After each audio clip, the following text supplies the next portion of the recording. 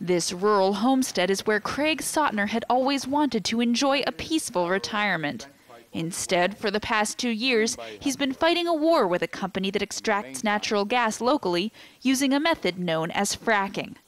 To show us the problem, Craig takes us to his basement. Like many rural Americans, the Sautners have their own well. But this is what their water looks like since drilling got underway around their property. Oh, it's got a weird smell, too. For months, this family drank contaminated water unknowingly. By the time the pollution became visible, everyone had gotten sick. My daughter had eczema up and down, you know, in her elbows. My son had it up and down his legs. Uh, my daughter had hives up and down her body. My wife had hives all over.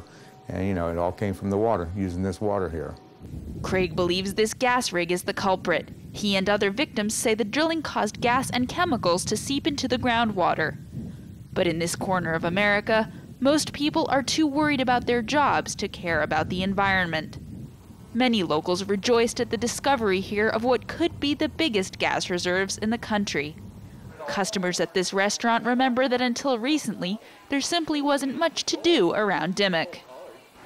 Many places aren't hiring until now because of the gas economy.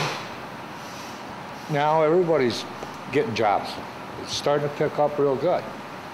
These activists disagree. They say the gas boom is only temporary, while drilling could destroy the region's natural economic treasure, its environment. So this is a recreation, hunting, fishing, uh, um, and tourist area. And none of those activities are, are going to take place if there's drilling here and there's fumes and the kind of act, uh, industrialized industrial activity that takes place where drilling is done.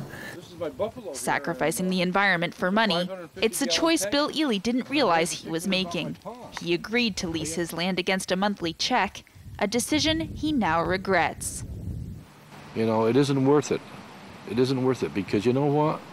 I can live without that royalty check. I can't live without my water. I have to drink water every day or I'll die. Bill knew something was wrong when he discovered he could set his water on fire. How high is burning? Burning wet this high. Put your, let's see like what we do this way. Now he and his neighbors are suing the gas company and asking that their water be restored to its original pristine condition.